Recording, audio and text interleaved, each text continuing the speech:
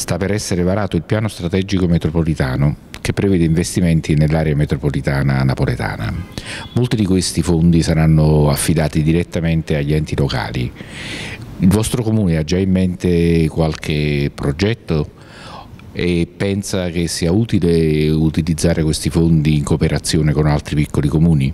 Abbiamo puntato su quella che è la riqualificazione di alcuni assi viari che stavano in condizioni molto precarie, la rivalutazione di beni architettonici di valore storico e culturale eh, sui quali poi si può anche eh, un domani eh, gestire una politica di sviluppo basata sulla, sulla cultura e sul turismo. Sono sicuramente convinto che eh, è essenziale la cooperazione tra piccoli comuni. Spero che quindi la città metropolitana si faccia anche come portavoce e promotore di iniziative che possono finalmente rimettere insieme i comuni a cooperare per, per la gestione delle risorse del territorio.